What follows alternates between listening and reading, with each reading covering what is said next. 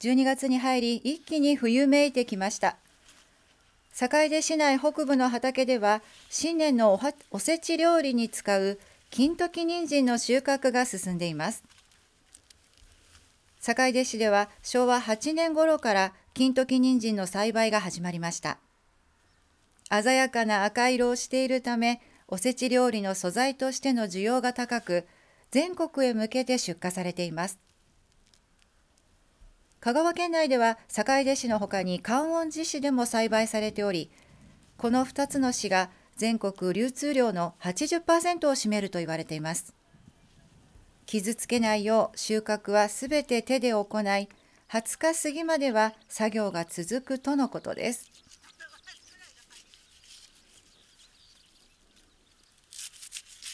現在では珍しくなったという個人で金時人参を栽培されている方に声をかけてみました。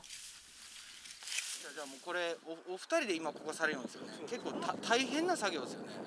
もうみんなもう農園さんになってしまったねもう個人で作っちゃうとこはほんまもう高齢化ばっかりになってほんまに個人で作っちゃうとこは本当に少ないですね、これはお株がないけどたまたま細いわ細いこう太太くて長いのがやっぱいいんですか？ほらもうこいなこいなんやらこいなんの太いようなこういうな感じのツエルがやっぱり高いわな。ツエル。これちょっとやけどねこここういうこれ太すぎるわ。太すぎるわこれ。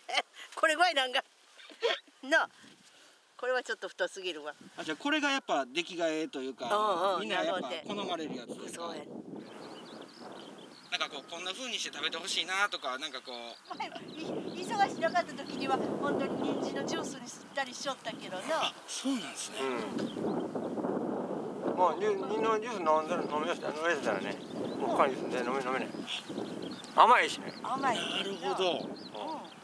ジューサーでもう。もうジュース一本だけこれだけ。他にあんちゃまでね。はあ。それがやっぱ一番美味しい。そうしもう最初はちょっとおかあの変な匂いとかね。酸味がちょっとあるけど。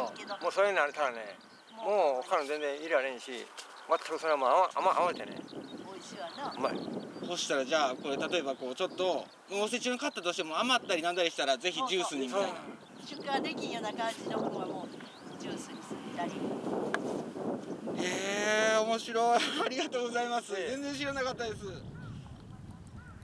寒い日がこれからも続きます。収穫作業頑張ってください